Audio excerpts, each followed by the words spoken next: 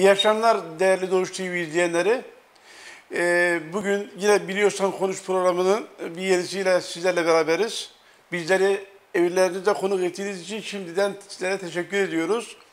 Ee, bugün özellikle hayatımızın tam merkezinde yer alan çok çok önemli, sağlıkla ilgili bir önemli bir konuyu irdeleyeceğiz değerli hocamla. Ee, onun için e, bu konuda özellikle e, mesajlarınızı alıp sorularınızda e, olabildiğince imkanlar elde edildiğince cevaplandırmaya çalışacağız. E, ben bu konuda özellikle e, şu anda bizzat birebir yaşadığımız toplum olarak, dünya olarak pandemi e, merkezli özellikle bu sağlıkla ilgili alınacak önlemler, efendim aşı, aşı bilinci ve bu konuda genel konuları masaya yatıracağız değerli hocamla. Şimdi e, biliyorsan konuş programımızın yine daha önce de bu, e, bizim e, konuğumuzdu değerli hocam. Taceddin e, e, İnandı hocam. E, kendisi profesör doktor, halk sağlığı uzmanı ve özellikle e, bu yörede özel yeri ve hatta ülkede ülke için çok çok önemli bir konumda özellikle yani şey olarak e, bu halk sağlığı uzmanlarının gerek e, demografik olarak gerek de efendim şeyi e, azlığı nedeniyle e, biz e, büyük ihtiyaçlarını, yokluklarını e, çe- çekiyoruz kendilerinin. O nedenden dolayı kendilerinin bizim yanımızda burada olması ve bu programa özellikle e, zaman ayırması bizleri son derece memnun etti. Kendilerine sizlerin adına, Doğuş TV adına ve şahsım adına çok teşekkür ediyorum. Ee, sağ olun hocam. Ee, kıymetli vakitleriniz bizimle yaptınız. Özellikle bu meslek bilinci, meslek aşı ve özellikle de yaşamınızın merkezine insan alışınızdan dolayı buna e, bizim davetimize icabet ettiniz. Sağ olun hocam. Ben e, hocamı bir kere daha takdim ediyorum. Değerli hocam, Ta- Profesör Doktor Taceddin İnandı hocam, halk sağlığı uzmanı. Ee, Mustafa Kemal Üniversitesi'nde e, öğretim görevlisi. Öğret- efendim bu konuda özellikle bizim yöremizde böyle bir e, hocamızın bulunması hakikaten yöremiz adına, insanlığı adına büyük bir kazançtır.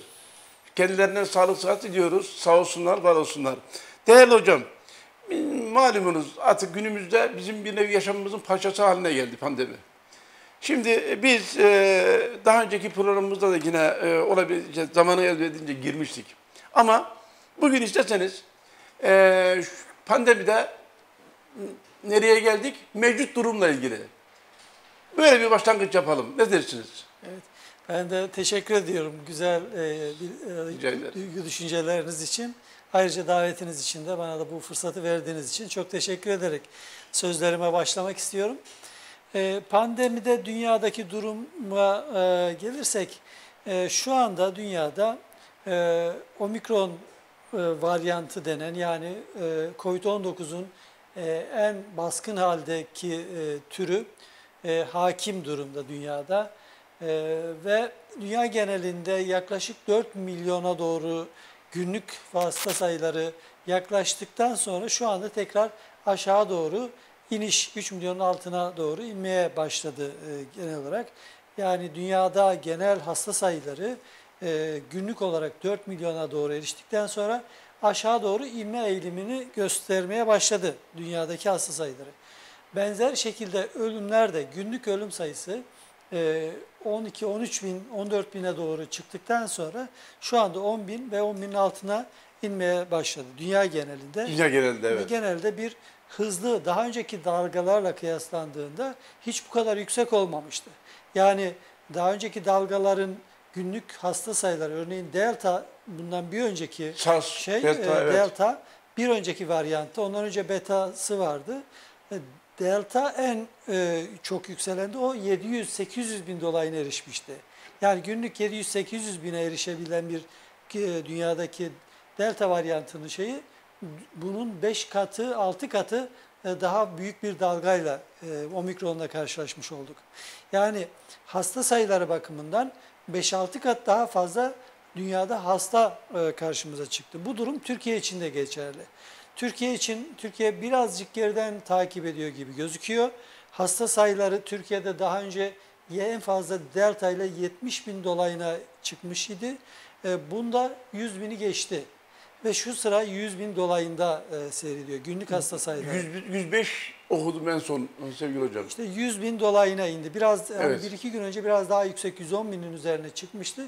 Şu an Türkiye'de de henüz inme aşağı doğru iniş eğiliminde mi yoksa daha devam edecek mi? Birkaç gün daha gö- bekleyip görmemiz gerekiyor. Yani Türkiye'de zirveyi gördük mü, e, görmedik mi onu söylemek için erken henüz.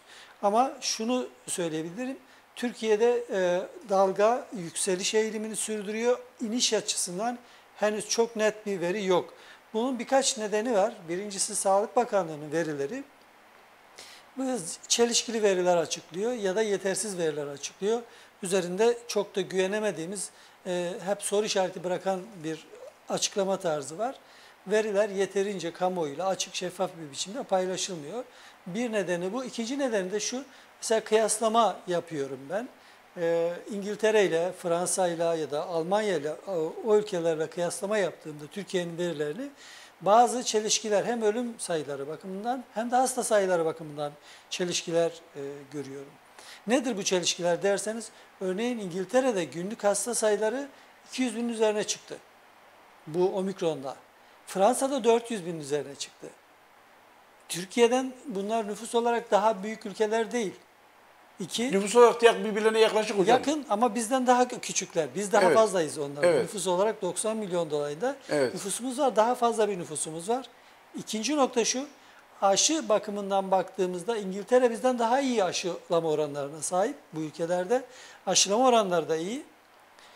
Bir başka açıdan baktığımızda hani Türkiye'nin kıyasladığımızda e, önlemler, sıkı önlemlere uyma e, ya da pandemi kurallarına uyma, maske, mesafe, e, bir takım iş çalışma hayatıyla ilgili düzenlemelere, kurallara uyma bakımından kıyasladığımızda e, İngiltere ve Avrupa ülkelerinden daha geride olduğumuzu düş- görüyorum. Dolayısıyla tüm bunları bir araya getirdiğimde Türkiye'deki vaka sayılarının 500 bin üzerine çok rahatlıkla çıkabileceğini, çıktığını, çıkması gerektiğini tahmin ediyorum. Neden? Çünkü Türkiye bugün pandemide kurallara uymuyoruz. Ne maske var, ne mesafe e, var. E, Pek çok pandemi kurallarına Avrupa kadar e, uymuyoruz. Avrupa'nın pek çok ülkesinde örneğin bir e, sağlık pasaportu uygulaması var. Yani ülkenin ülkeler arasında olduğu gibi ülkenin içinde de var. E, restorana giderken, e, bir takım yerlere giderken e, o pasaport uygulamasını soruyor. Ya- bizdeki HES kartı gibi diyorsunuz. bizdeki HES bir tek şeyi takip ediyor. E, HES e, bizdekine benzer ama bizim HES'imiz aşı durumunu, Evet, şeyini evet. takip etmiyor. Hasta bizde sadece temaslı mısın, hastalık Değil pozitif misin? misin? Evet. Onun üzerinden gidiyor. Bizi böyle başladı. Bu e, gelişmedi ve bunu e, işte AVM'ye girerken ya da bazı yerlerde sağlık pasaportu uygulaması e, o yönüyle daha uygun. e, O pasaportların bir süresi var mı hocam? Mesela atıyorum bir 6 ayda bir o pasaportların... Yok yok aynı aslında bu sağlık pasaportu denen şey bizim kodlar e, QR kodlarıyla telefonlarla e, uygulanıyor. E, ya aşınızın tam olması lazım. Tam aşılıysanız girebiliyorsanız, eksik aşılıysanız test yaptırmanız lazım e, buralara girmek için. Testi, hızlı test uygulamaları var. Yani hızlı testi siz kendiniz cebinizde götürebilirsiniz. Orada restoranda garsonun yanında hızlı testi uygulayıp e, gösterebilirsiniz. Ya da hemen her yere hızlı test istasyonları açmışlar. Büfelerde hani bir eğitim almış insanlar. E, so- her sokakta bu test yapan yerlere gidebiliyorsunuz. Orada testinizi yapıp o test resmi bir test. Onunla e, gideceğiniz yere gidebiliyorsunuz. Henüz biz o noktada değiliz yani. Bizde onlar eksik örneğin. Yani bunları da e, dikkate aldığımızda Türkiye'de hani sayıların e, ve e, ölümlerin de aynı şekilde e, açıklanandan çok daha yüksek olduğunu ben e, tahmin ediyorum. Hocam e, şimdi öyle bir şey ki e, hani e, bizde inancımızda da bir söz var. Der ki efendim tedbiri sen al, tevekkeli Allah'a bırak. Yani e, biz e, tedbiri almadıyken atıyorum e, bangır bangır bağırıyoruz. Diyoruz ki efendim kapalı yerde, kalabalık yerlerde bulunmayın diyoruz. Ve hatta diyoruz derken de yani şey e, e, tıp böyle diyor. Evet. Şimdi e, bunu e, bilerek ihlal etmek, efendim yok kongreler, kurultaylar, düğünler, nişanlar bu gibi şeylerde e, muhakkak bir, e, birkaç gün sonra bunun olumsuz şeyleri yansıyor hocam. Bunu e, böyle yansıdığını da hepimiz biliyoruz ama her nedense ısrar ediyoruz hocam. Evet şimdi bir öyle bir sorunla karşı karşıyayız ki e, Bey. Bu sorun çok zor bir sorun. Yönetilmesi çok güç, çok zor bir sorunla karşı karşıyayız. Halk sağlığı açısından son derece önemli, tehlikeli sonuçlar olan her gün yüzlerce insanımızı kaybettiğimiz ve bugüne kadar baktığımızda toplamda resmi rakamlara göre 91 bin yani düşünürseniz bir e, bu bir şehir yok oldu. Yani e, ilçe bugün bazı illerimizin nüfusu bu kadar e, bile değil. 91 nüfuslu ilimiz var. O rakamın e, ben e, çok daha olduğu konusunda birçok Tabii tabii bu resmi Bilgiler rakam. alıyoruz. Bunun tabii 2-3 kat yani 300 bin 400 bin ölüm e, gerçekleşti bugüne kadar tahmin ediyoruz. Dolayısıyla bu bir şehir büyüklüğünde yani neredeyse Antakya nüfusuna denk geliyor. E, Evet. Yani bu kadar insanımızı kaybettik ve kaybetmeye de devam ediyoruz. Yarın ne olacağını da bilemiyoruz. Hani yarını da öngörmek çok kolay değil.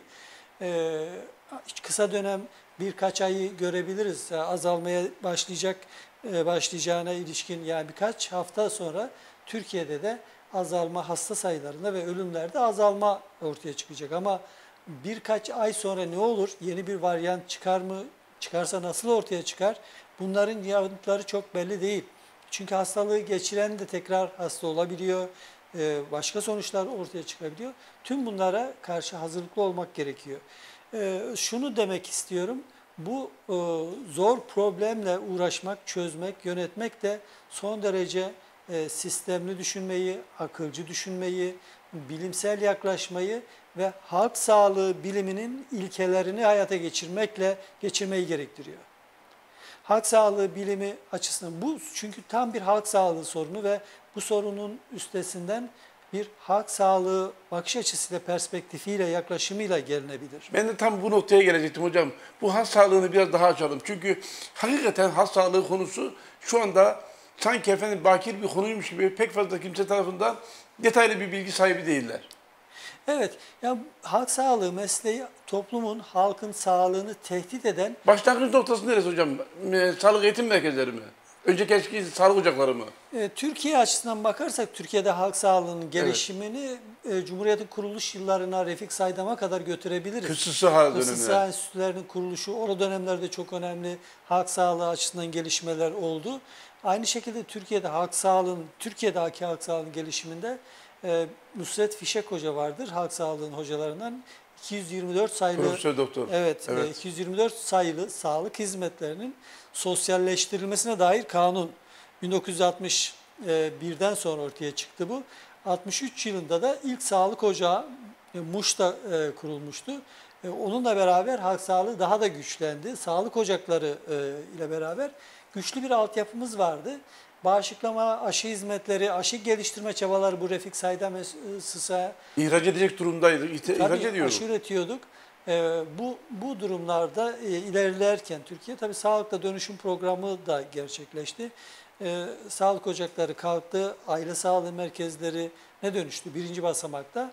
Ee, bunlar e, aile sağlığı merkezleriyle sağlık ocaklarını kıyasladığımızda ve pandemiyi ele aldığımızda geriye düşmüş olduk.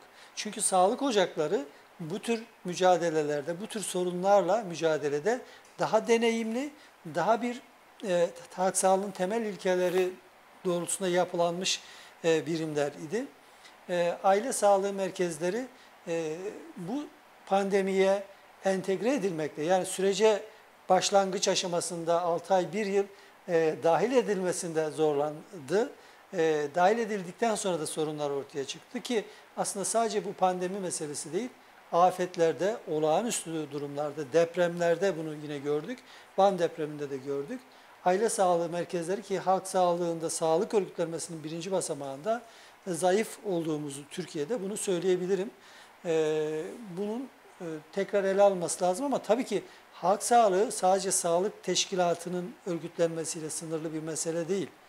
Yani bu pandemiyle mücadelede örneğin e, daha çok pek çok insan hastaneleri tedavi edici hekimliği düşündü. Tedaviyle bunun üstesinden geleceğini düşündü.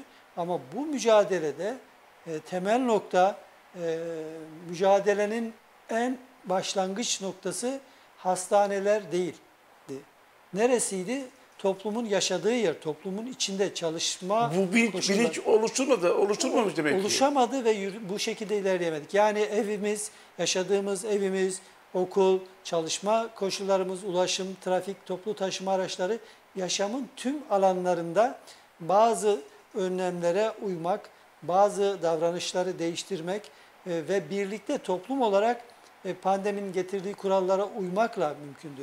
İzolasyon, karantina gibi süreçler hep buradaki önlemlerdi. Burada kaybeden toplumlar yani mücadelenin bu kısmına az önem veren ki insanlar hastaneleri doldu taştı. Ee, örneğin İtalya e, bu şeyde ezildi deyim yerindeyse Ee, ve bunu göremeyen toplumlar bu süreci çok iyi yönetemediler.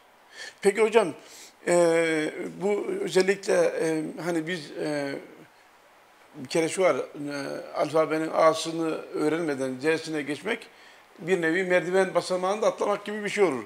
Şimdi o zaman bizim bu halk sağlığı konusunda özellikle ülkemizin bir politikası olması lazım. Yani e, bu evde eğitim mi olur, okulda eğitim mi olur, artık e, zaman zaman belli bölgelerde e, ta- toplumu bir araya getirerek o şekilde bir bilinçlendirme yapılabilir. Ama o zaman o halk sağlığının önemini e, eğer belirtmezsek ister istemez hastanelerin yükünü de artı- artırmış oluyoruz. Tabii hastanelerin yükü de artış- Halk sağlığı aslında tüm yönüyle yani e, burada anlatmak çok zor ama bu örnek üzerinden ilerleyecek olursak yine pandemi üzerinden hani bir tarafıyla toplumun eğitimi, kuralların Evet. geliştirilmesi, diğer tarafıyla da halk sağlığı, sağlık yönetimi demek, pandemi yönetimi demek. Evet. Pandeminin yönetimi de bilime ve kurallara, akla e, uygun bir biçimde, rasyonel bir biçimde yapılmalı. Bunun temel e, ilkelerinden biri halk sağlığında yine bulaşıcı hastalıkların kontrolünde sürveyans diye bir kavram var. Evet. Bu ne demek? Bu hastalıklar, hastalığa ilişkin düzenli veri toplamayı gerektiriyor. Toplanan bu verileri analiz etmeyi, raporlamayı, raporlayıp ilgili tüm taraflarla, bilim insanlarıyla, toplumla paylaşmayı gerektiriyor. İki yıl geçti pandemiden sonra. Böyle bir rapor hala Türkiye'de yok. Evet. Yani biz bu bilgilere sahip değiliz. Bu son derece önemli. Çünkü hele de e, böyle yeni ortaya çıkan bir hastalık durumunda son derece önemli. Çünkü bilinmeyen soruların yanıtları bu verilerden ortaya çıkacak. Hastalığın bulaşma şekli, bulaşma süresi, kuluçka süresi, e, ne bileyim işte karantina, izolasyon süreleri hepsinin yanıtı bu sürveyans verilerinden elde ederek önlemlerimizi de ona göre güncellemek, değiştirmemiz gerekiyor. Oysa bu veriler e, Türkiye'de çok kullanılmıyor. Bir başka yaklaşım yine şu, e, bilgi ve bilişim politikaları çok önemli. Sağlık bilişimi politikası da halk sağlığının içerisinde. Genel anlamda bilişim ama özel anlamda da sağlık bilişimi. Yani bilginin üretilmesi, üretilen bilginin saklanması, kullanılması, paylaşılması, dağıtılması gibi süreçler de son derece önemli. Halk sağlığı bununla da ilgileniyor. Kirletilmeden bilgiyi, bilgiyi Tabii yanlış- kirletmeden. Yani yanlış bilgilerin Evet. e, yayılmasını durdurmak, doğru bilginin yayılmasını kolaylaştırmak, üretilmesini sağlamak. Her şeyden önce doğru bilginin üretilmesine destek olmak. O nedenle de bilim insanlarını araştırma yapmaya teşvik etmek, araştırmayı kolaylaştırmak önem taşıyor. Türkiye'de pandemiye ilişkin, bakın bugün herhangi bir konuda araştırma yapmak isterseniz standart kurallara uyarsınız. Ama pandemiye ilişkin araştırma yapmak istediğinizde ekstra bazı izinlere ihtiyaç duyuyorsunuz. Ekstra izin almak zorundasınız. Peki Neden bu böyle? zaman kaybı değil mi hocam? zaman kaybı ve araştırmacıların önünde bir engel olarak karşımıza duruyor. Yani bakanlıktan izin almak Engel, gerekiyor. tabii. Ne, niçin izin almak gerekiyor? Bakanlıktan sağ, pandemiyle ilgili araştırma yaparken bunun gerekçesine ve bu bakanlıktaki bu kurul hangi kurallara göre çalışıyor belli değil. Hantal bürokrasi diyebilir miyiz hocam buna? Gereksiz bir ka- korku, kaygı ve gereksiz bir e, bürokratik süreçler ortaya çıkıyor. Gereksiz kaygı ve korkulardan bilim insanlarına güvenmek gerekir, topluma güvenmek gerekir, araştırma yapmaları, e, toplumu aydınlatmaları bilim insanlarının görevidir. Bundan korkmamak gerekiyor. Şimdi Gazi Mustafa Kemal Atatürk e, önünde saygıyla ediyoruz. Rahmetle, minnetle ve şükranla anıyoruz. Beni Türk hekimlerine emanet edin derken onu sadece söz olsun diye değildir. Onun altında o kadar büyük anlamlar yatıyor ki. O zaman yani- yani beni hekimler dedi ki ben Türk hekimlerine güveniyorum. Siz de güvenin demektir bu. E, tabii ki yani yani hekimler burada ben tabii hekimleri, sağlık çalışanlarını e, bu koşullarda çok e, ağır koşullarda e, büyük bir özveriyle çalıştılar. Yaşamını yitirenler oldu. Onları rahmetle anıyorum. Birçok 600, emekçi- 600'ü geçti hocam. Evet, meslektaşımız sağlık çalışanı hayatını kaybetti. Hala çok ağır koşullarda şu anda yoğun bakımlarda çok sayıda hasta var. Servislerimizde çok sayıda hasta var Türkiye'de. E, tekrar zorlanmaya başladı. Bu açıdan hastanelerimizde e, bu ağır yük altında e, çalışıyor. Çocuklarına dokunamıyorlar. Düşünebiliyor musunuz? Yani Evet. bu bu bir baba anne için ne demek biliyor musunuz? Evet, evet. Ee, evet ama işte bu tabii ki e, bu koşulların bir de yönetici tarafı sağlık Evet. yönetiminde önemli eksiklikler var. Türkiye zaman zaman başarılı olduğunu yönetim açısından iddia etse de ben o kanaatte değilim. Başarılı olanlar var bu şeyde. Sağlık çalışanları az önce söylediğim gibi hekimler, sağlık e, teşkilat e, şeyi içerisinde çok büyük fedakarlık gösterdiler.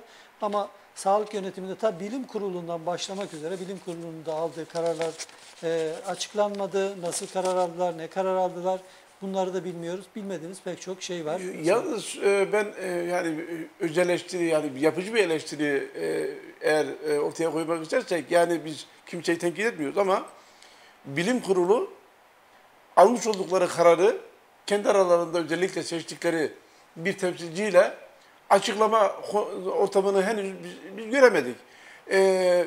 Yani Sağlık Bakanlığı, Sağlık Bakanlığı da efendim Cumhurbaşkanlığına bilgi vererek e, yani sağlık konusunda en güzel bilgi zamanında temiz ve doğru bilgidir zamanında.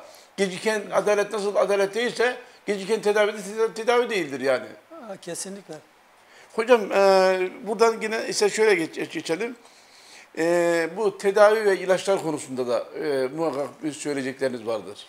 Evet yani kısaca oraya hani benim çok uzmanlık alanım değil ve orada çok He. uğraşmıyorum ben e, mesleğim gereği. Yani Ama bildiğim, takip ettiğim kadarıyla sınırlı da olsa bu alanda sınırlı da olsa gelişmeler var. E, bir kısım ilaçlar e, etkinliği e, olan, kanıtlanan ilaçlar kullanıma giriyor, e, yaygınlaşıyor şu sıralar. Evet. Ee, ama onun için de e, zamanında e, erken tanı koyup erken müdahale etmek, tanı koymak, tedavi etmenin önemli olduğu söyleniyor. O nedenle belirti gösteren özellikle risk grubunda olan insanlar yani hastalık açısından risk grubunda olanlar en küçük belirtide test yaptırması ve e, mümkünse tedaviye erken dönemde başlaması önemli. Bunlar virüsü öldüren ya da virüsün çoğalmasını azaltan ilaçlar, antiviral ilaçlar denen ilaçlar e, konusunda da az da olsa gelişmeler var. Ee, tabii ilk e, bu şeyin e, e, koronavirüsün ilk dönemlerinde sanırım e, Kullanılan o özellikle- ilaçlar değil. Yani o ilaçların etkisiz olduğunu bi- e, artık biz başından bu yana aslında ben e, bunların kanıtının olmadığını ve benim gibi pek çok bilim insanı da aynı düşüncedeydi. E, Sıtma ilacı kullanıldı, kanıtı yok bunun bilimsel bir değeri yok diye itiraz etmiştik. E, Ve ortaya çıktı ki o gerçekten etkili değil. Yine bir e, sekizli hap ilaçlar, antiviral ilaçlar vardı. Onların da etkili olmadığı e, görüldü. İşte halk sağlığı uzmanlığının önemi burada kendini ortaya koyuyor zaten. Tabii başından bu yana biz o ilaçların etkili olmadığını e, söylüyorduk, uyarıyorduk. Çünkü bizler e, bizler kararımızı e, bilime, kanıta göre, kanıtlara göre vermeye çalışıyoruz. Bilim insanlarının yapması gereken şey bu. Yani kanıt arar, bilimsel kanıt arar. Kanıt yoksa ortada düşün hani bir Evet. takım o zaman hani tecrübelerimiz, deneyimlerimiz işin içerisine girer ama burada her zaman yanılacağımızı bilmek gerekir. Pozitif bir şey bulmadan zarar verebileceğimizi de düşünmek Çünkü gerek- muhatabınız insan. tabii ki. Bir yaşam olayı var. Evet. Değerli hocam o zaman yani şu şunu diyoruz yani. Biz e, acı reçe- reçeteyi vermekten korkarsak o zaman yaşamı da bir noktada ciddiye almamış oluyoruz. Eğer bir kişiyi hayatta tutmak istiyorsak eğer gerekirse acı reçeteyi ortaya koyarak biz onu ne yapmamız lazım? E, tatbik etmemiz lazım. Ama e, şu var yani e, bilgiyi, doğru bilgiyi sağından kırpıp, solundan kırpıp efendim e, bir nevi kendi özelliğinin nüvesini bozarak Yani GDO'suyla oynayarak bilginin Eksik bilgi e, insanların kafasında karışıklığa yol açar. güven kaybına da uğrar. Güven kaybına yol açar, ka- e, yanlış yorumlara yol açar. Evet. O nedenle bu konularda olabildiğince geniş bilgiyi kamuoyuyla, bilim camiasıyla, bilim insanlarıyla e, paylaşmak gerekir. Demokratik, çağdaş, gelişmiş toplumlar e, böyledir. Türkiye'nin e, tutumu e, bir şey vardır, yaklaşım vardır. Yani Batılıların söylemiyle paternalistik ya da bu ne demek Türkçesi?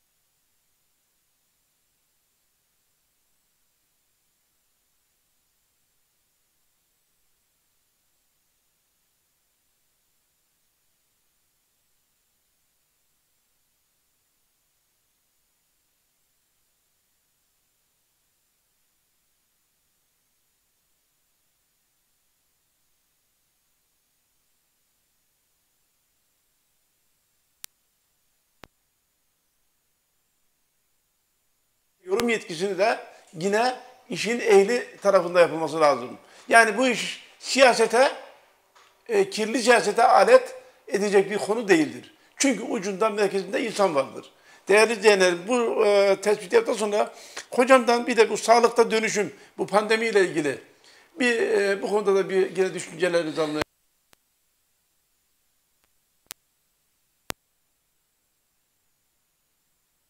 ifade etmiştim. Bir değişim ortaya kondu. Sağlık ocakları eskiden belirli bir bölgeden sorumlu ve mahalleleri olan, herkesin belli bir co- sınırı, Evet. coğrafi sınırı olan kurumlardı. Ve orada çok çeşitli sayıda meslek e, görev yapardı. Hekim vardı, çevre sağlığı tespiti. Ama altyapıda sanki bir eksiklik var gibi hocam. Orada da eksiklikler işlemeyen ya da zayıf yönleri onun da vardı. Ama e, olumlu yönleri işte hekim var, sağlık memuru var, çevre sağlığı teknisyeni orada var, ebe var, hemşire var, sekreter var. Çok çeşitli meslek grupları bir arada çalışıyor idi. Ama lojistik destek yani oranın ihtiyaçlarını karşılama e, konusunda bazı e, eksiklikler vardı. İşleyiş konusunda da bazı geliştirmesi gereken noktalar vardı. Sağlık ocaklarında aksayan yönleri vardı.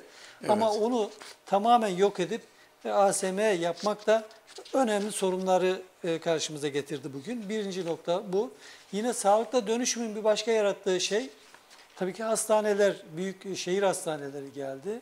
Ee, şehir hastaneleriyle beraber e, özel hastaneler e, de bir taraftan arttı. Sağlık hizmetlerinde özel hastaneler, büyük hasta, devasa hastaneler. Tüm bunlar e, hani sağlık hizmetlerinin yönetiminde e, pandemiyle mücadelede bazı yerde avantaj sağlasa da genel anlamda olumsuz sıkıntılara yol açtı diye e, düşünüyorum. Hocam e, şimdi e, şu anda günümüzde şu anda omikron. Tabii ve omikron da e, belirtileri işte e, burun akıntısı, baş ağrısı, yorgunluğu falan diyor ve içilik gibi efendim e, buna benzer belirtiler var. Özellikle omikronun e, ana olarak yani e, diğer bazıları bunu soğuk algınlığı olarak değerlendiriyor. Herhalde diyor grip, üşütmüşüm falan diyor. Oysa ki omikrondur. Test yapmaya da gitmemiştir. Evet. Ve dolayısıyla yani işi e, tesadüfe bırakıyor. E, bu omikronda özellikle ana e, belirtilerle üzerine de neler söylemek istersiniz? Evet yani omikronun belirtileri e, daha önceki suçlar yani e, delta, beta ve da başlangıçta ortaya çıkan e, ilk orijinal e, etkenle bir çok benzerlik gösteriyor. E, bu ortak olduğu noktalar neler? Benzer olduğu noktalar. Birincisi bunlar solunum yoluyla bulaşıyor. Dolayısıyla burun, boğaz gibi noktalardan öncelikle giriyor ve burada e, bir e, rahatsızlık, ağrı, e, yanma, burun akıntısı, öksürük, hapşırık gibi belirtiler ortaya çıkıyor. Daha sonra e, akciğere yayılırsa da ona özgü belirtiler ortaya çıkıyor. Halsizlik, bununla beraber karın ağrısı, e, sindirim sisteminde bazı belirtiler ortaya çıkabiliyor. Ancak bu belirtiler e, diğer e, gripte ya da diğer solunum yolu e, virüslerin yol açtığı durumlarda da karşımıza çıkıyor. Yani bakarak e, bu belirtilere bakarak e, COVID'i diğer bir viral şeyden e, gripten nezleden ayırmak mümkün değil. Yani hekim muayenesiyle de mümkün değil. Hekim de muayene ederek bir şey İlla ki test grip mi diyorsunuz. şey mi ayırt edemez, etmez. Mutlaka test yapar. Ayırt etmek için test yapmak. Şu zorunda. andaki test e, gidişatımız hocam ne durumda? Yani ülkede şu anda yeterli mi? Yani şu anki dalgaya baktığımız zaman daha yaygın test yapmak, eğer kontrol altına almak, e, e, kontrol etmek, izolasyon yapmak, hastaları, temasları yapmak istiyorsak daha yaygın test yapmak e, durumundayız. Başından beri Türkiye aslında Evet. test stratejisi benzer aynı şeyi uyguluyor. Daha çok belirti gösteren insanlara yapıyor. Oysa Evet. bu hastalıkta e, az önce de değinmek istemiştim. Şöyle bir durum daha var. Hastalığın e, üçte biri neredeyse hiç belirti göstermiyor. Yani kişiye bulaşıyor ama hiç belirti göstermiyor. Üçte biri birazcık belirti gösteriyor. Nezle gibi, burun akıntısı, hapşırık gibi, ha- hafif bir kırgınlık E neden göstermediği ki bunun altında yatan bir gerçek bir şey var ya aşı aşı olduğundan mıdır? Efendim vücut direncinin yüksek olmasından mıdır? Yani Aşı olanlar e, daha hafif atlatıyor ve aşı olanlarda Evet. belirtisiz gitme ihtimali var. Bu bir e, neden. Ama bunun tam nedenini tam olarak biz de bilemiyoruz. Çünkü aşıdan önce de bu durum böyle. Evet. Yani aşı çıkmadan önce hastalık, diğer pek çok hastalıkta da buna benzer durumlar söz konusu Evet. oluyor. Yani ise burada da kişilerin bağışıklık sistemi az önce dediğiniz gibi etkili olabilir.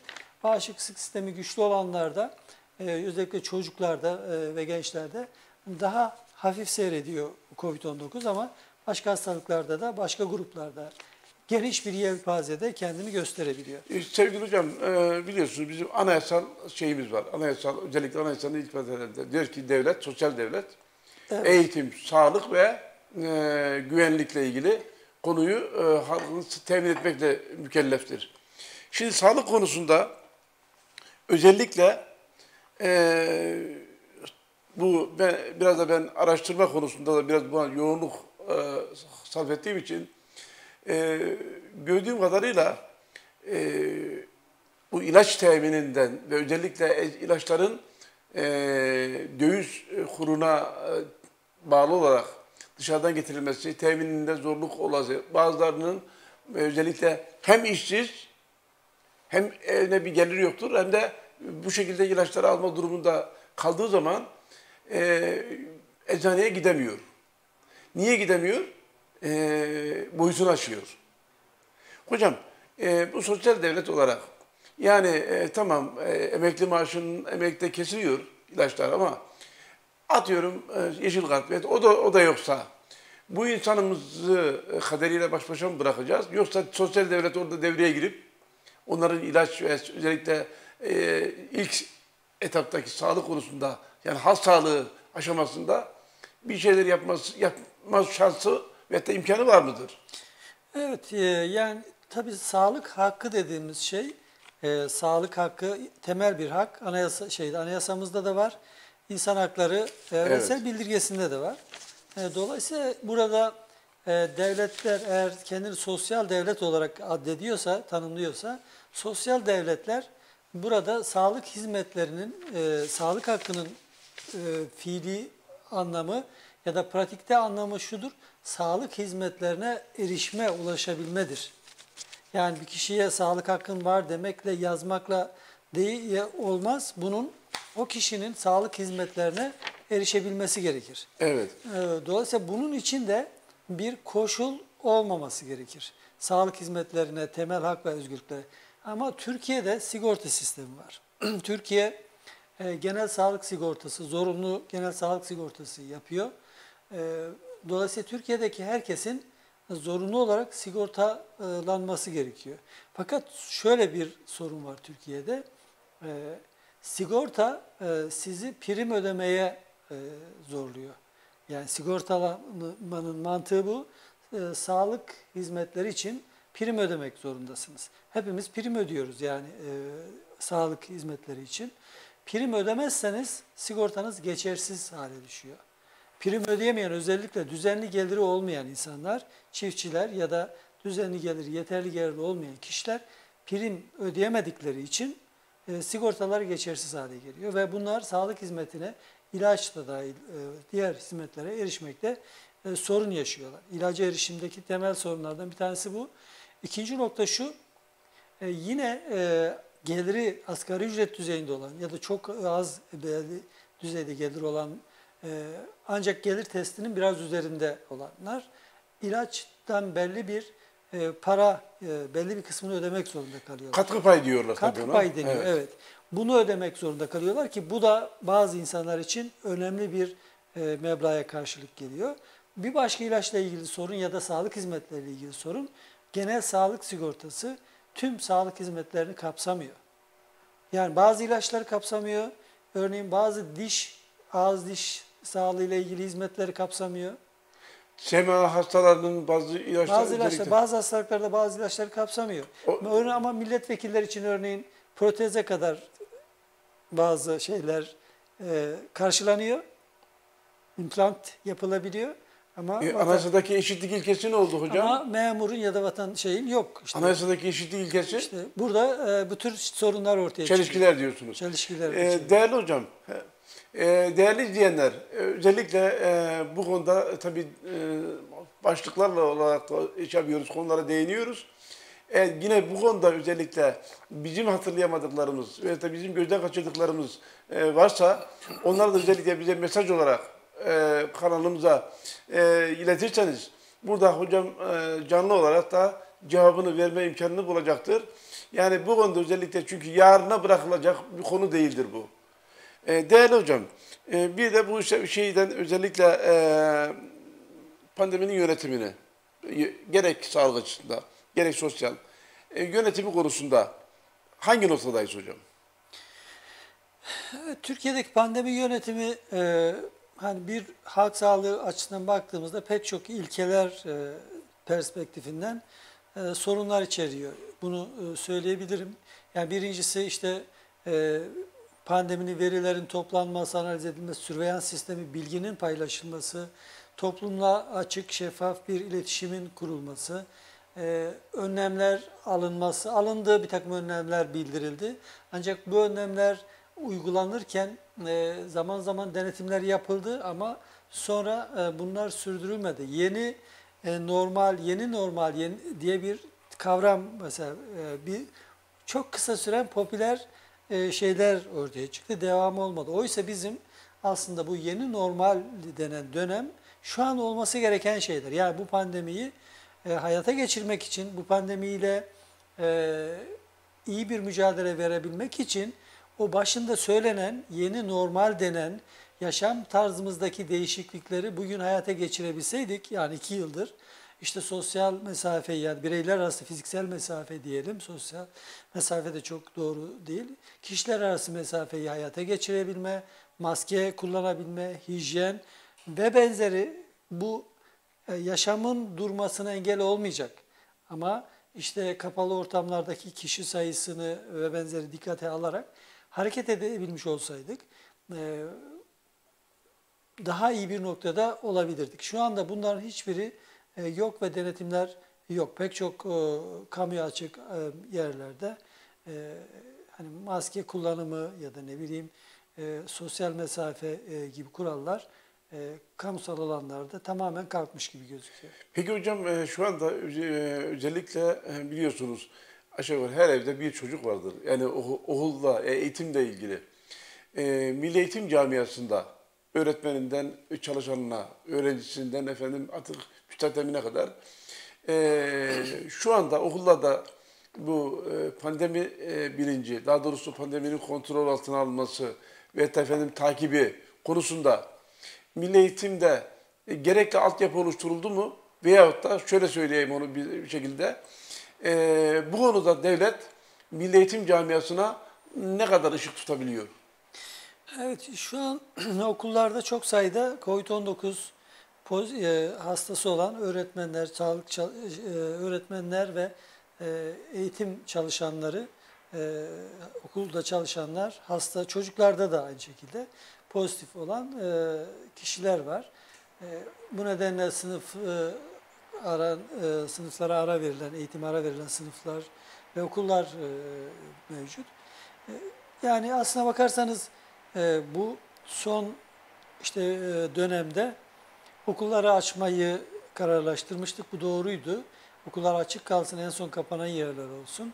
Ama okullarda da kurallara uyarak, e, gerekli pandemi koşullarını hayata geçirerek e, sürdürelim düşüncesi vardı. Bu bazı okullarda e, hani koşulları iyi olan belki özel okullarda ve devlet okullarının bir kısmında işte maske kuralına çocuklarda, öğretmenlerde uyulabilmiş gibi gözükse de genel itibariyle e, kalabalık sınıflar e, ve pandemi kurallarından uzakta bir e, eğitim oldu ve bu da şu anlama geliyor, öğretmenlerin ve öğrencilerin arasında hastalığın hızla yayılması anlamına geliyor. Ee, yani gerek Türkiye'de de, Türkiye'deki durum da aynı, okullardaki de aynı. Şu anda biz hızla e, hastalığa yakalanıyoruz, yakalanacağız. E, birkaç ay içerisinde e, bu e, kendi kendini sınırlamaya gidecek. Çünkü e, aşıların bir kısmı hasta oluyor e, hastalığı geçirenlerin bir kısmı tekrar hasta oluyor. Ve üstelik aşıyla ilgili de bir kampanyamız yok. Yani aşısız olan belli bir grup var. Onları e, aşılayalım diye hızlandırılmış bir çabamız da son zamanlarda ekstra bir çabamız da gözükmüyor. Dolayısıyla e, bir hastalığın başında çıkan bir yaklaşım vardı. E, hafifletme yaklaşımı. Yani kontrol altına alma bir de hafifletme diye iki kavramı tartışmıştık. E, kontrol altına alma şeyi gözükmüyor şu anda. Yani biz salgını kontrol edelim e, politikası, düşüncesi, uygulaması yok Türkiye'de. Ne var? E, salgının hasarını, zararını azaltalım, hafifletelim. Bunu nasıl yapalım? İşte sağlık teşkilatımız tıkanmasın, hastanelerimiz e, tıkanmasın, yoğun bakımlarda yer olacak e, tarzda e, yumuşak bir e, süreçte hasta sayılarını ona göre ayarlayalım da hastalığı geçirerek atlatalım düşüncesi. Hocam peki bu özellikle bu palyatif çözüm şeyleri bir has sağlığına, insanları yaşamda tutmak e, bakımında e, bu uygun bir yöntem midir? Uygun bir yöntem değil. Bunun bir maliyeti var halk sağlığı açısından. E, bizim için hasta sayılarının azaltılması, hastaların olmasının önlenmesi, ölümlerin önlenmesi önemli.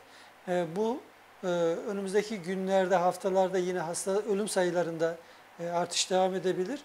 Dolayısıyla bugün 300'ün üzerinde yani. Dün 309'du hocam. 309 kişiye çıktı. 300 kişi günlük ölen resmi rakamlara göre ölüm var. Bu çok büyük bir sayı. Halk sağlığı açısından son derece önemli bir sorun. 300 ölümden söz ediyoruz. Hani diğerlerini hesaba katmasak bile ee, dolayısıyla bunları önlemek için elimizden gelen çabayı göstermemiz gerekiyor.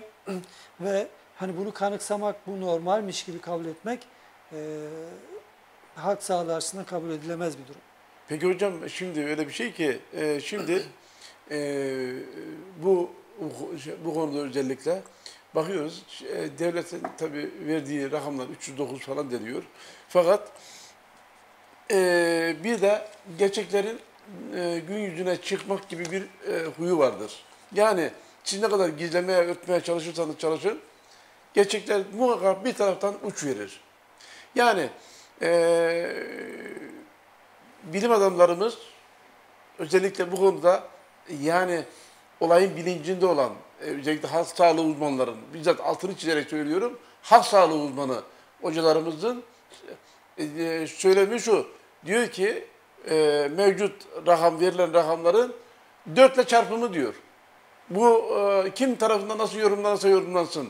Eğer bu böyle değilse devletin de devletin ilgili yerlerin Sağlık Bakanlığı'nın da bunu çürütmesi lazım. Eğer çürütmediği sürece o soru işareti olarak kalır. Ve aydınlanmayan halk kendisi yorumlamaya başlar. Ben bir eğitimci olarak mesela öz eleştiri yapayım. Ee, hocam e, şu anda milli eğitim camiasında, okullarda genelde biliyorsunuz hijyen diyoruz, hijyen. Hijyen Evet. çok önemli diyoruz.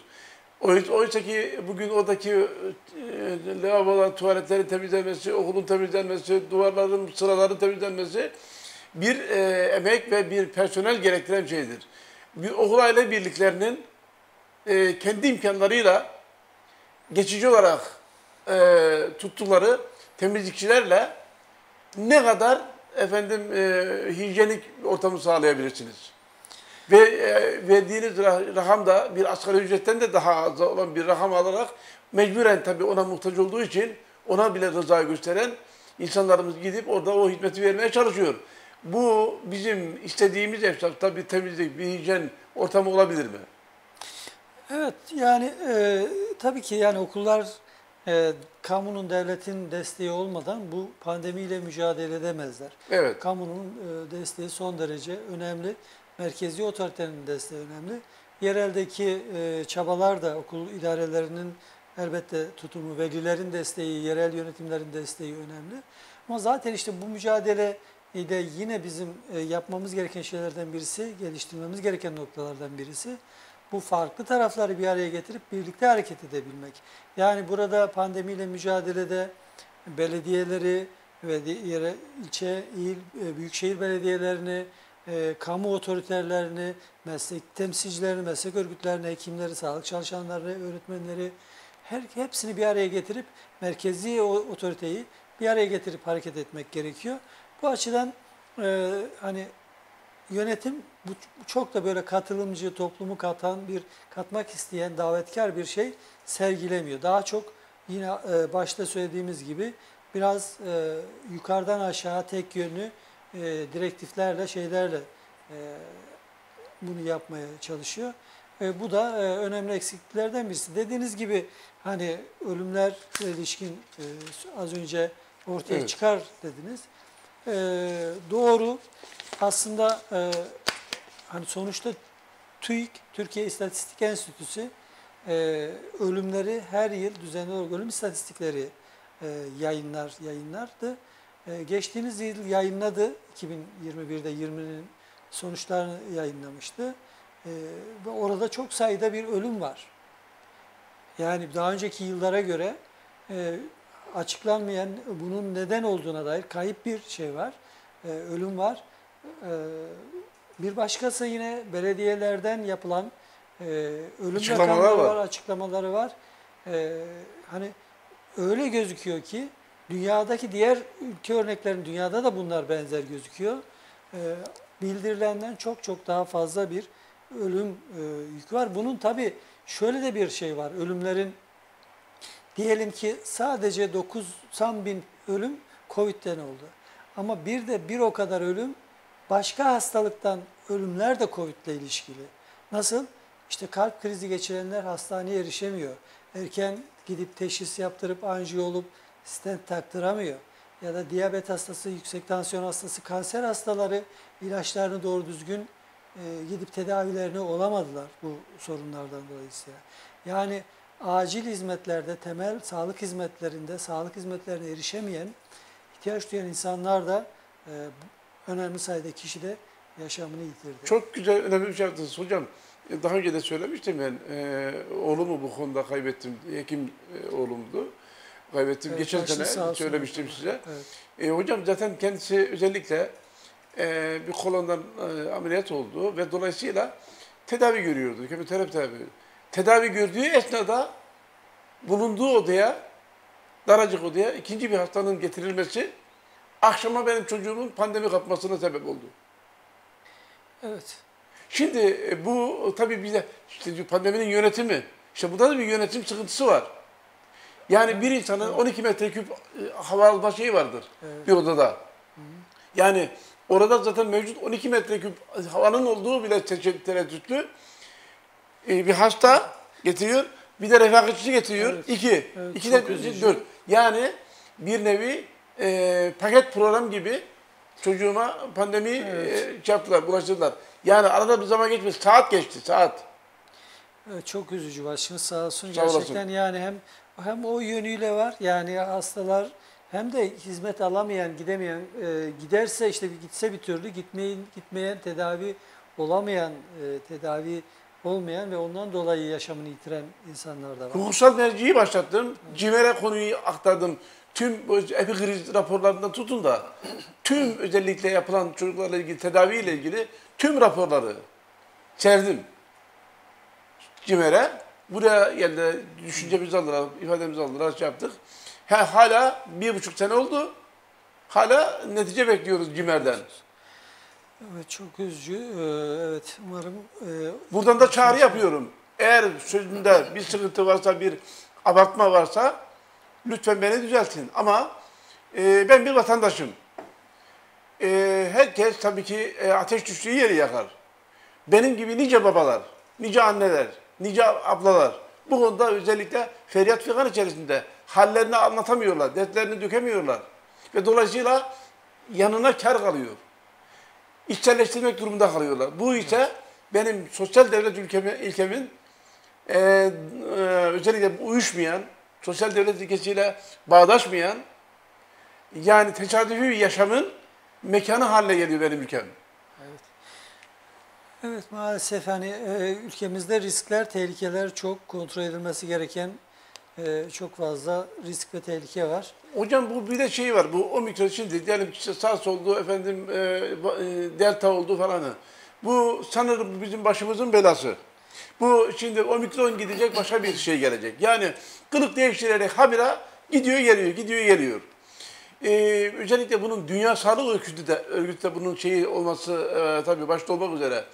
Bunun takibi konusunda hocam e, bilimsel olarak açısından muhakkak siz bunun içindesiniz. Ee, bir ta- e, özellikle bunun izlenmesi, kontrolü, takibi yapılabiliyor mu?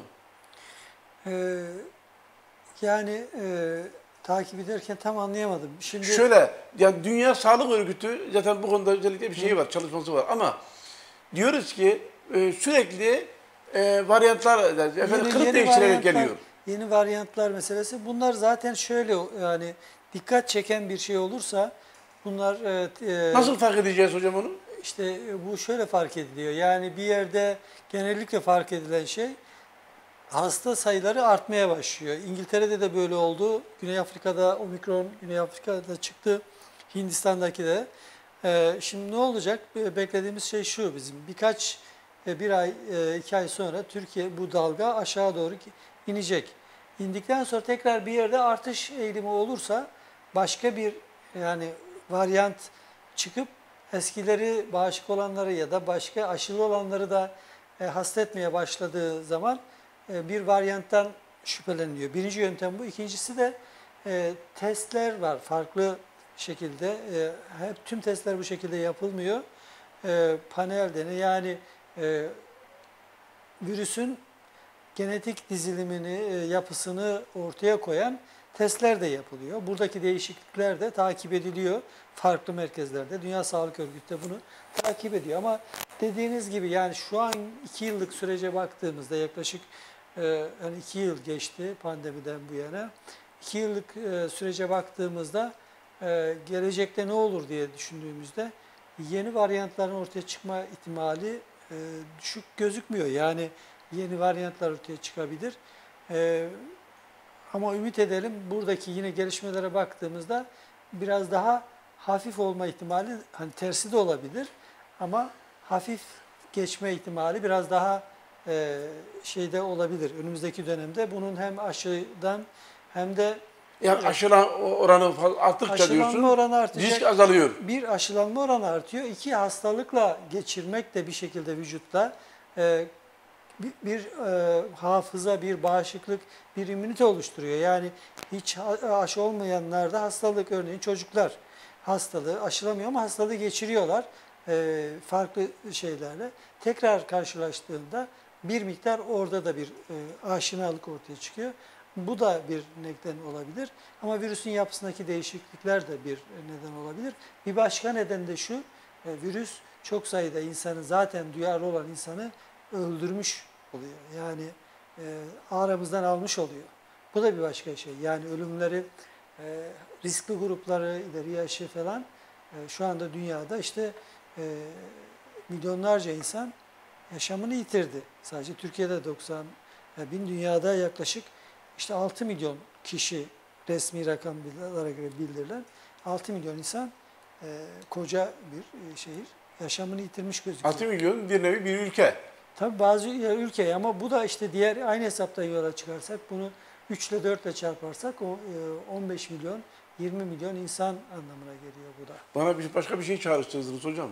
Ee, şu son e, 10 ayda benim ülkemde yüreğim yana yana söyleyeceğim. 9 bin sağlık görevlisi beyin göçü yaptı ülkemde. 9 bin 10 ayda. Evet. Ee, bir ülke için 9 bin sağlık e, görevlisinin yani doktorun, tabibin e, beyin göçü olması bilmiyorum da böyle şakaya alınacak bir hadise değil sevgili hocam. Evet yani beyin göçü e, sağlık sektörü. Yoksa burada yani çalışma ortamı bulamadıklarından mı? Veyahut da meslek şevkini e, ta- tatmin edemediklerinden mi? Ya evet Türkiye'de Gerekli imkanları sunama sunulmadığından mı? hepsi var söylediğinizin pek çok e, hani hemen hepsi bir şekilde etkili. Türkiye'de e, sağlık sektörü de dahil diğer sektörler de benzer ama sağlık sektöründe daha fazla. Birincisi çalışma koşulları çok ağır. Çalışma süreleri uzun, iş yükü e, çok hasta var, hasta bakmak durumunda kalıyor, iş yoğunluğu fazla.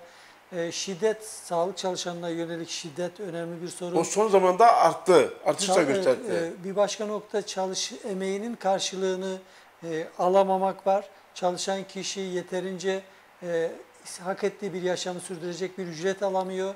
Yine başka boyutları var. E, atama ve yükselmelerde e, liyakat sistemi yok. Yani e, Bunlar bunlar göz ardı edilmeyecek hakikatlerdir. Evet yani birisi yükselmek istediğinde, mesleğinde gelişmek istediğinde, yükselmek istediğinde liyakata, eşitliğe, beceriye, hakikate dayalı bir sistem istiyor. Ama Türkiye bunların hemen hepsinde önemli sorunlar içeren e, bir ülke olduğu için insanlar daha iyi yaşamak için, daha iyi yaşam standartına, düzeyine ulaşmak için- Mesleğini layıkı ve yapabilmek için. yapabilmek için gidiyor. Hatta bazıları e, öylesine bir şey ki gidiyor başka ülkede hekimlik yapma fırsatı bulmasa bile başka bir alanda çalışmak üzere e, gidenler de oluyor. Yani burada Acı değil mi hocam bu? acı gidip orada hekimlik yapamasa da e, daha e, hani nitelik vasıf olarak nitelikli iş gücü gerektirmeyen herhangi bir yerde kasiyer ya da şurada burada e, çalışmak üzere gidenler bile e, oluyor. Bu hepimizin üzerinde çok düşünmesi gereken ülke adına, e, Türkiye adına e, son derece üzücü, kaygı verici. Yani gelişmemizi önleyen, bizim için toplumun gelişimini engelleyen önemli faktörlerden birisi. Tam tersine giden ülke açısından da bir kazanç söz konusu.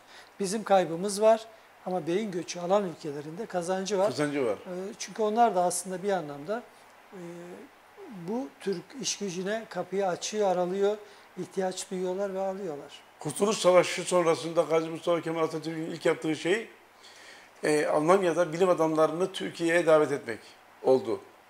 Yani o, o bilim adamlarının ül- ülkeye çağrılması, davet edilmesi, onlara o ortamın verilmesi büyük bir öngörünün e, işaretidir. E, biz de tam şimdi şu anda tersine yapıyoruz. Şimdi hocam sizi hem biraz soluklandırayım hem de e, ben e, özellikle diplomalı ekonomist olarak konuşuyorum.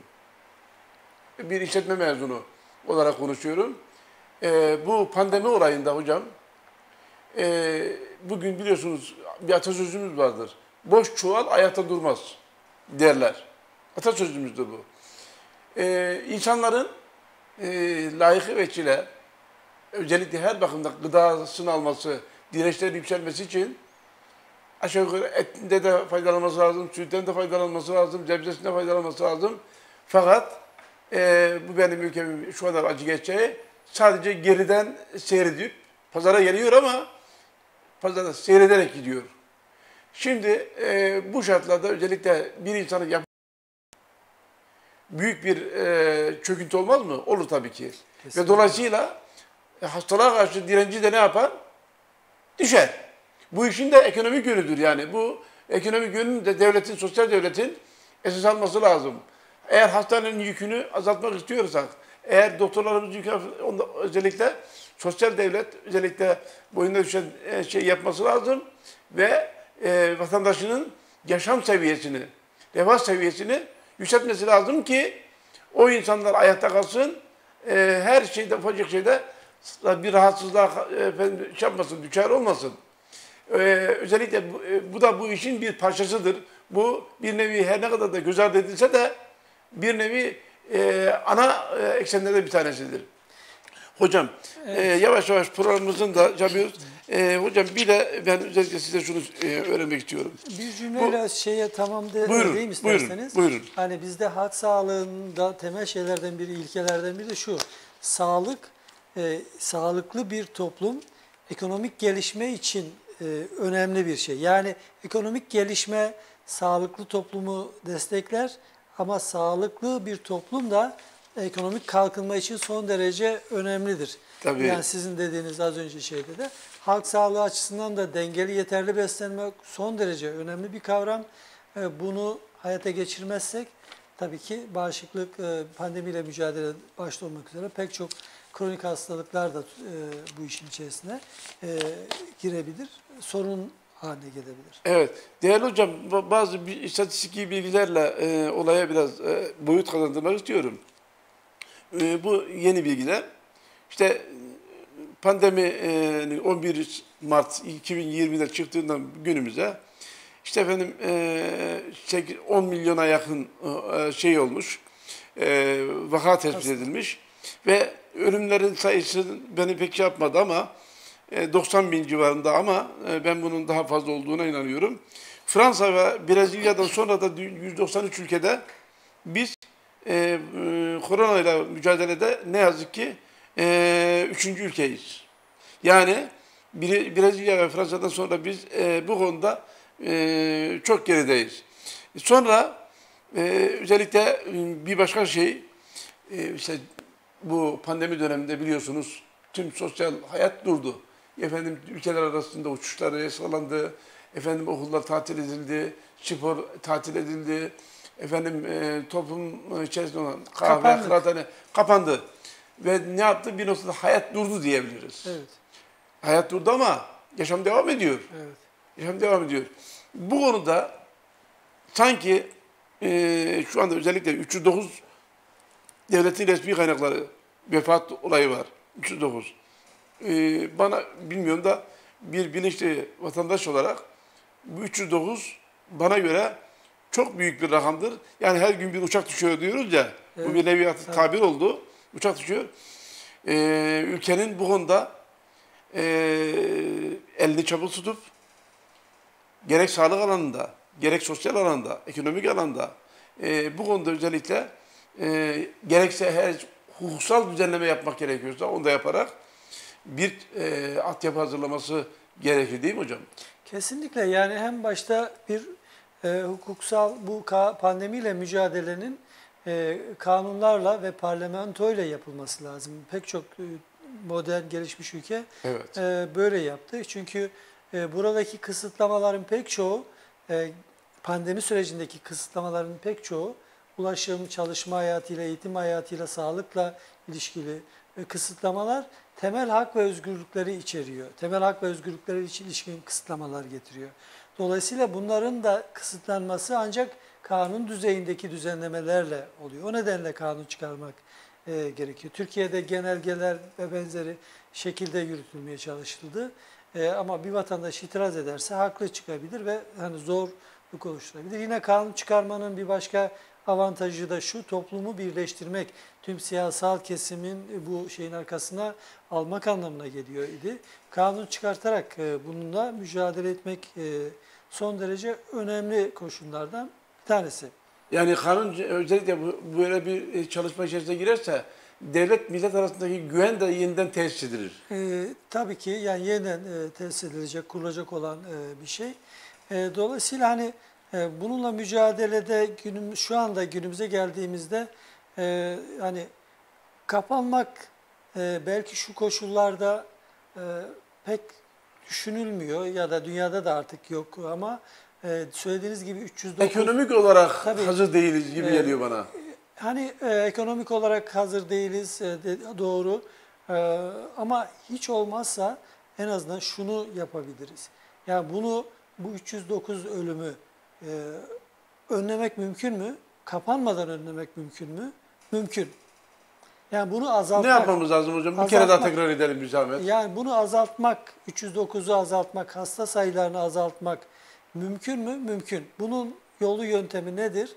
İşte bunun yolu yöntemi hasta sayılarını e, tekrar kontrol, yani pandemiyi kontrol etmeyi hedeflemek lazım. Yani e, hafifletme yaklaşımında ölümlerimiz çok olacak yine de. Yani e, daha kendi haline bıraktığımızda çok fazla olur. Hafifletmede orta düzeyde rakamlar işte diyelim ki hiç müdahale etmezsek bin ölüm olacaksa günde müdahale ettiğimizde işte bugün hafifleterek 300-500 ölüm olacak.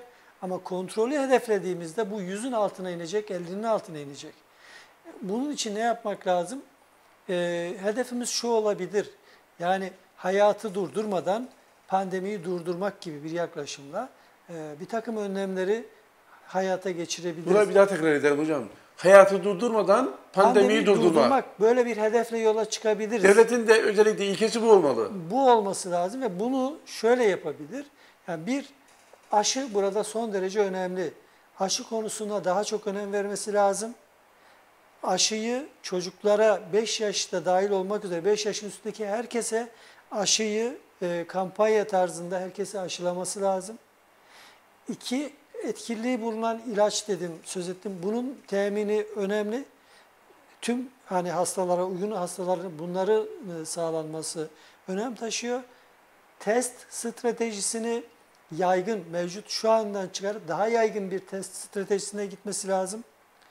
Ee, çok sayıda test yapıp hastaları izole etmesi, temaslıları karantina uygulaması, onları da ayırması e, ve yine maske, mesafe, hijyen koşullarına toplumun uyumunu sağlanması, çalışma koşullarının düzenlenmesi, esnek çalışma, uzaktan çalışma koşullarının hayata geçirilmesi, okullardaki e, okullardaki sınıftaki öğrenci sayılarının azaltılması, bunun için yeni derslikler açılması, yeni öğretmenin alınması, beş, bekleyen, sırada bekleyen, öğretmen olarak atanmayı bekleyen bir yığın insan var.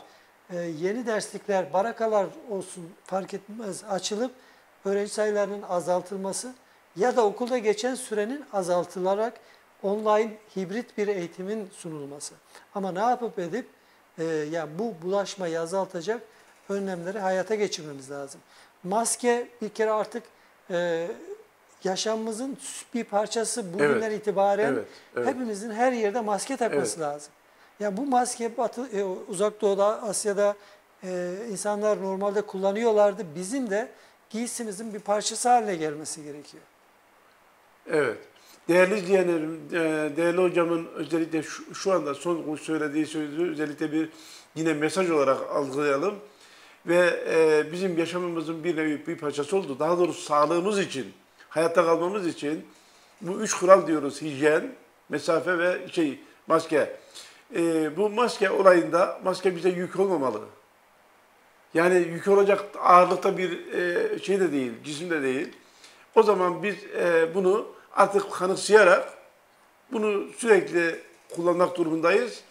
Çünkü hem kendimize hem de bir başkasına zarar vermemek bakımından bu son derece önemlidir. E, değerli hocam devam ediyor buyurun. Yani şimdi burada mesela biz e, geçen oturumumuzda maskeyle e, konuşmuştuk. Evet. Siz yani, Ses düzeninde bir sıkıntı olduğu için bize gelen şeyler de ondan dolayı e, bugün hani ben maske konusunda daha ısrarcıyım hep Yani sizin e, Evet. izleyicilerimizin e, bu talebine e, hani e, uydum.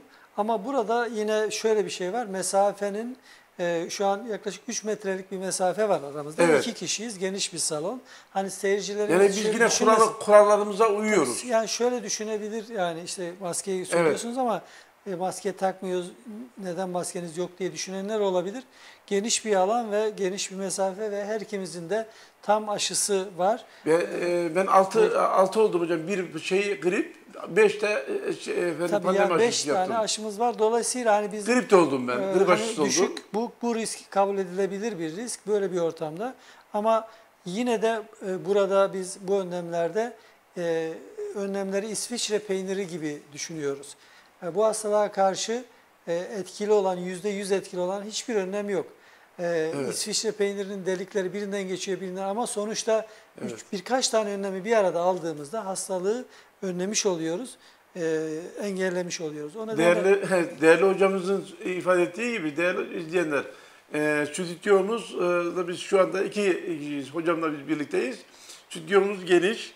Yani e, gerek e, hava oksijen bakımından gerekse efendim ortam bakımında metrekare olarak e, biz e, gerekli önlemi almış durumdayız. Sadece maskeyi özellikle biz e, daha önceki programımızda vurgulamak için, maskenin önemini vurgulamak için değerli hocam bunu kendisi maskeyle yaptı ancak tabii sizlere sesimizin e, cızırtılı daha doğrusu e, tam net gelmemesinden dolayı ben sizin isteklerinizi değerli hocamıza ilettim. Yine sağ olsun değerli hocam da e, anlayışla karşıladı. Bundan dolayı şimdi e, özellikle bir kere daha anons ediyorum. Değerli e, izleyenler, e, bu konuda özellikle şeylerinizi, sorularınızı bizim stüdyomuza, bizim efendim şeyimize Doğuş TV stüdyosuna e, iletirseniz burada sorularınız biriktiğinde bir sonraki programda bir sonraki programda onları teker teker cevaplandıracağız. E, yani hiçbir zaman hiçbir sorunuz karşılıksız kalmayacak. E, şimdi değerli hocam e, programımızın sonuna geldik. E, bu konuda özellikle e, sizin rutuş olarak bir e, toparlama, bir özet olarak neler söylemek istersiniz? Evet. Yani bir e, zor bir sorunla karşı karşıyayız. Çok uzun uzun vadeyi görmek, tahmin etmek çok zor kolay değil. Ama hani olumlu gelişmeler, aşıda, tedavide olumlu gelişmeler var, virüsün yapısındaki değişmeler var. E, hani başlangıç noktasına göre daha iyi bir noktadayız. E, önümüzde de e, devam edecek. Çok kısa sürede de sonlanması e, pek mümkün gözükmeyen bir Görünmüyor, evet. sorunla karşı karşıyayız. Ee, ancak akıl, bilim, e, ortak akılla hareket edebildiğimizde e, sorunun üstesinden gelebilir, kontrol edebiliriz. E, yaşamımızı durdurmadan e, bu sorunu kontrol edebiliriz. Bununla yaşamayı öğrenebiliriz. E, yakınlarımızı kaybetmeden, hastalanmadan bunu sürdürmek e, mümkün. Burada bireylere düşen önemli sorumluluklar var. E, işte bazı kurallara uymaları ama kamunun yani ülkeyi yönetenlerin de sorumlulukları çok büyük. Onların da bazı önlemleri hayata geçirmesi, e, buradan ortaya çıkan zararların önlenmesi, e, toplumdaki ekonomik, sosyal ve ruhsal e, sorunlara dönük destek ve projelerin üretilmesi de e, son derece önemli diye düşünüyorum. E, ben teşekkür ediyorum tekrardan. Çok sağ olun. E, Değerli izleyenler, e, hocamız e, Profesör Doktor Taceddin İnandı. Kendisi halk sağlığı uzmanı ve özellikle yöremizde, yöremizde e, yeri doldurula- doldurulamayan değerli hocamız e, bize e, böyle zaman zaman e, şey yaparak, vaktini ayırarak sizleri bilgilendirme konusundaki taleplerimizi anlayışla karşılıyor. Kendilerine huzurlarınızda Doğuş TV adına, şahsım adına ve sizler adına yine şükranlarımı arz ediyorum. Ee, bu konudaki özellikle sorularınızı e, stüdyomuza daha doğrusu te- televizyonumuza intikal ettirdiğiniz zaman burada efendim soru havuzunda biz bunu değerlendirip bir sonraki programda değerli hocamdan yine bir e, olmasa bir istirhamda daha bulunup soruları cevaplandırmak üzere yine biz birlikte sizlerin karşısında olacağız. E, bu duygularla e, biliyorsan konuş e, programının sonuna gelmiş bulunmaktayız. Bir sonraki biliyorsun programda görüşmek üzere. Öyküleriniz duygusuz, ezgileriniz e, umutsuz, efendim e, olmasın, efendim sözleriniz ipek gibi yumuşak, bakışlarınız su gibi duru olsun, her şey gönlünüzce olsun, sağlıcakla kalın, sağlıklı kalın. Hoşça kalın efendim.